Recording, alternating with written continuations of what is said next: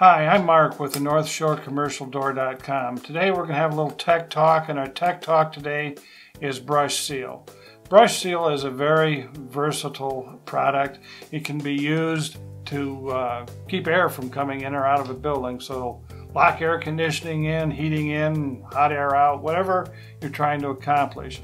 It can be used as a, uh, a sweep on the bottom of a door where you're going to sweep against a smooth surface or if there's any irregularity to the pavement because the, the bristles will, will move and conform. The other uh, very good use for a brush seal is on a surface that you're trying to uh, weather seal that's irregular.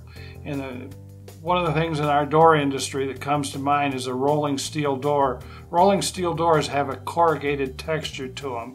I'll use my hand to um, demonstrate this. If you if I press my hand into the seals, you'll notice that the seals conform around my fingers. And when they conform around the fingers, they keep the air from moving through the door. So a uh, brush works very well where you have a uh, contour in mind. The other thing that we want to consider about our brush seal is this is actually a, a two-piece affair here. You've got a metal retainer that you would fasten either to the door or to the uh, frame around it. And then you've got the seal that slides into it.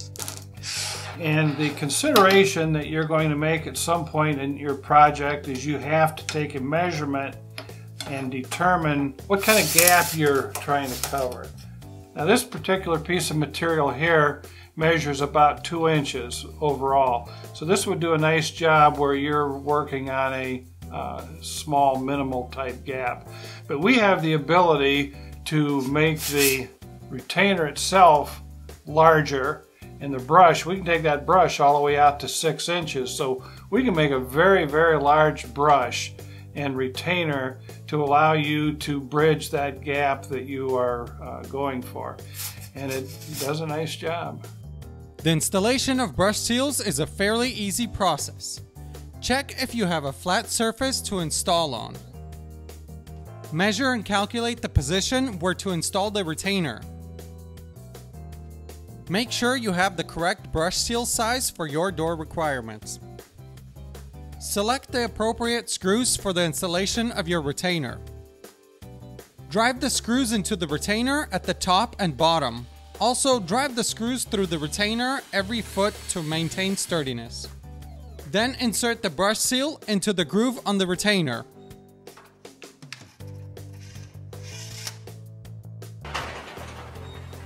And now you have successfully installed a brush seal on your door. Visit our website for a wide selection of brush seals and retainers. Thank you for watching the NorthshoreCommercialDoor.com video. Now please hit that subscribe button so we can continue making videos like this. Thank you.